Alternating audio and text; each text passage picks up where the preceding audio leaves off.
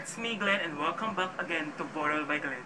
So for today's bod haul or bod bod plus bodol. Yeah. For today's bodol, um ay bodol ko yung sa mga pang bottoms. So wala ako sa tops and ayoko na din mag-polo. Ganon. Joke. So, doon naman tayo sa jeans or sa mga jogger or sa mga slacks and trousers para pang bottoms lang tayo guys. Para, di ba? And lalagyan ko ng trail pala itong video na to kasi ito is actually lahat sila is binili ko sa ukay lang. And maghahanap ako ng kapareho nila, not exactly kapareho pero parang kakaya nila or ka-vibes nila sa Shopee para may, alam niyo yun, para may may recommend pa rin ako sa inyo. So, pero kapag if you are from in my place, like, sa description box, i-check na lang kung saan ko siya nabili.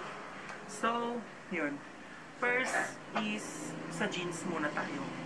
So, this one is Levi's jeans. And actually guys, disclaimer lang, sorry for the background noise pala kapag meron mang tumatakol dyan yung aso ko yun. And syempre kapag may mga tri-C, syempre malapit lang yung bahay namin sa mismong kalsada, kaya sorry for that. And, well, well, di ko alam kung maglalagay pa ako ng video na na nakatry siya, di ba? Try on hold naman tayo palagi. But, feeling ko sawa na sa video, kaya fix muna ngayon. Balik tayo sa video kapag next time ganun. So, ito pala. This one is the Levi's. Levi's siya, pero okay lang. Yun. 50 pesos lang, guys. Yan. So, this is the Levi's jeans. Mm, mukha na siyang vintage char. Pero ganyan siya guys. Medyo parang denim jeans. So medyo denim jeans siya na alam niyo yun, parang 90s yung style. Ganun. So ganito siya. May pocket siya dito sa likod and dito sa side din dito and may maliit din dito. So I bought it for I bought this for only 50 pesos. And, di ba, kapag brand new to mga nasa 2, 1K to 2K na kasi Levi's. So, ganyan siya. And ito yung sample pic. So, dito sa pic, ganyan yung style ko. And actually, yung rate ko dito is nasa 10 over 10 kasi perfect yung fitting niya sa akin. And mukha ko naman siyang bagay, di ba guys? So, yun, 10 over 10. So, next is this, another jeans. So, medyo denim, denim siya, pero mas darker compare sa isa. And I bought this for only 50 pesos again. And medyo short nga lang siya, pero mas gusto ko. Kasi mas maganda siya sa akin. And ito yung sample pic niya. Yan. Tapos, may pocket siya dito. And all. Tapos, i-rate ko lang to ng 10 over 10 again para yun, para perfect, para kasi perfect fit naman siya sa akin, diba? So, wala akong problema sa mga jeans. So, next one is this one. Um, ito is mukha siyang for, alam yun, for beach na, I mean, literal na beach yung my weights, hindi yung beach na beach. Yun. So, this is a beach pants or bali pants. Ganun. So, may nakita akong ganito sa Inseron. Like, medyo pricey kasi, ma ay, hindi naman pricey yung Inseron. Like, compare sa Opay lang, mas pricey sa Inseron pa rin. Kasi I bought this for only 150 pesos. Ito. So, medyo ganyan siya. May zipper siya dyan, may garter siya dito. May pants siya. Ganyan. medyo for casual siya and beach. Pero pwede mo din naman siyang pang labas lang. ganun. So, ito yung sample pic ko. And ito pala is medyo hindi ko siya size. Kaya I will give it na lang ng 8 over 10. Um, actually, di ko kasi, kasi ako sanay mag, alam yun, mag-fit muna sa upay kasi wala naman kasi magandang fitting room. Actually, sa upay na ngayon. So, next one is this trouser slacks pants na gray, dark gray. Na design niya is may parang line just dito. I bought it for 200 pesos. And may parang adjust something siya dito. Pwede mo siya adjust, kapag masikip or pag maluwang ganun. So, actually, di mo na need ng belt kapag may ganun. So, dahil doon, I give it for yung rate ko siya, i-rate ko siya ng 10 over 10 kasi, di ba, may parang, det, yan, detachable ba to? Yun, basta may belt na siya. Yun, may pocket siya dito. And for casual and something, actually guys, kapag may lumalabas din naman tayo. So yun, for casual siya or for something palabas. Kasi ito na yung uso ngayon guys. Yung parang, alam niyo yun, yung parang paglabas, parang mga lumalabas ngayon is naka-slacks na din. Parang, wala naman silang pakiram. So, yun, ito yung sample pic. So, ba't ko pinapalaging ganun yung kamay ko dito? So, next one is itong madami nagtatanong dito sa akin. Actually, guys, these are PJs. Pero, yun, sinusuot ko siya sa parang streetwear vibes.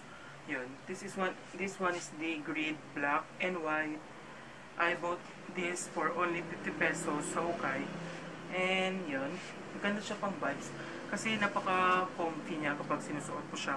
And nakakapag-galaw-galaw-galaw ka ganun. So, ito yung sample pic niya. Actually, dalawang pic na, dalawang beses ko na ito sinuot sa IG guys. Dalawang picture ko na siya na take, ganun. So, ito sila. Um, actually, ito is 3 for 100 pero well, magkaibang day ko siya kasi nabili kaya 50 each. Ito yung black and white. Tapos ito naman yung sinuot ko sa parang dreamy effect na farm vibes. Your picnic vibes, ganun. Ito. Um, this one is green and may parang detail siya na blue and white. For only 50 pesos each. So, next one is this. Para siyang jogger pants ba? Jogger pants kasi may masikip na part dito. Tama ba? Ganun ba yung jogger? Oh, di ba yung black na pinakita ko ng jogger pants? So, this one is color avocado green. And 3 for 100 to, pero binigay lang to sa akin ng ate ko. Like, winili siya yung tatlo. Tapos yung isa size ko. Yan. So, kinuha ko. Binigay niya pala. Yan, may pants siya dito. Tapos dito yung sample pic. So, last two guys. Last two uh, is this one. Alam nyo guys, this one is so nice for 200 pesos. Compare nyo kasi sa, nyo sa Insaron.